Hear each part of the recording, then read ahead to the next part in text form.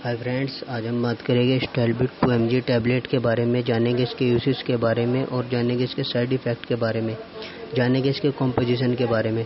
तो दोस्तों, चलिए बात करते हैं स्टाइलबिट टू एम टैबलेट के बारे में। स्टाइलबिट टू एम टैबलेट क्या कार्य करती है? सबसे पहले इसका कॉम्पोजिशन जान लेते हैं। इसका कॉम्पोजिशन आइसोप्रोमाइड और ट्राईफ्लू ओपेराजिन होता है इसमें और ये किसी भी मेडिकल स्टोर पर आसानी से अवेलेबल हो जाती है। दोस्तों, इसके साइड इफ़ेक्ट की बात करूँगा मैं सबसे पहले। साइड इफ़ेक्ट इसके क्या हो सकते हैं? और इसके साइड इफ़ेक्ट की मैं बात करूँ, अगर आप इसको लंबे समय तक ले सकते हैं, या इसको किन किन पेशेंट को नहीं लेना चाहिए, ये भी मैं बात करूँगा इसी वीडियो में। तो सबसे पहले बात करते हैं, किन पेशेंट को इसको उपयोग में नहीं लाना चाहिए। अगर आपको किसी पेशेंट को काला पी लिया हो तो इसको बिल्कुल मत ले। अगर किसी के पेट में ज़्यादा जख्म, बड़ा जख्म हो और सूजन हो तो इसको ना ले। डॉक्टर के कंसल्ट से इसको ले। हृदय रोग वाले इसके बिल्कुल मत ना ले। डिप्रेशन वाले इसको बिल्कुल ना ले। हार्ट फेलियर वाले इसको बिल्कुल ना ले।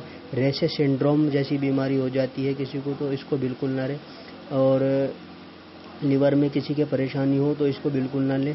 और इसको लेने से पहले आप अपने डॉक्टर से कंसल्ट ज़रूर कर ले कि इसको लेने से क्या क्या हमको नुकसान हो सकते हैं।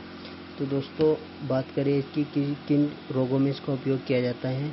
इसका उपयोग इरिटेबल बावेल सिंड्रोम यानी पेट में अल्सर और पेट में दर्द, ऐंठन, सूजन और डायरिया, या कब्ज के लिए इसका बहुत अच्छा उपयोग माना जाता है। यह पेट में दर्द, ऐंठन से राहत देने वाली दवाई होती है। जिसका उपयोग 18 साल की उम्र के बाद सभी कर सकते हैं और बहुत अच्छा रिज़ल्ट है। और किसी का पेट फूल रहा हो, या गैस बन रहा हो, या किसी के जो है आंतों में इन्फेक्शन हो स्टोमक में इन्फेक्शन हो, या गैस बनता हो बार बार और गैस बनने के बाद में जो इन्फेक्शन होता है, जो दर्द होता है एंटन होती है, उसको रोकने के लिए इसका बहुत अच्छा कार्य माना गया है।